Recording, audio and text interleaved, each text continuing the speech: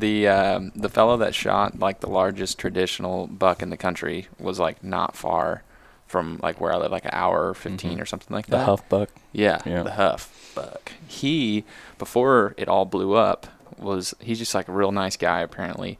Tweeted the onX pin to where he uh, heard about that shot this buck and uh, then everything blows up. He's on like every major podcast, all this stuff, and this thread on his onX pin is just going crazy. And then someone from MeatEater hit him up and was like, "Dude, take that down." yeah. because then all of a sudden these other camera cell cam pics start coming back, and that like uh, bloodline or whatever is crazy in that area and they're getting multiple bucks with that like paddle like all those ridges mm-hmm. and the antlers and stuff like that that he had going on it makes him look kind of like a moose antler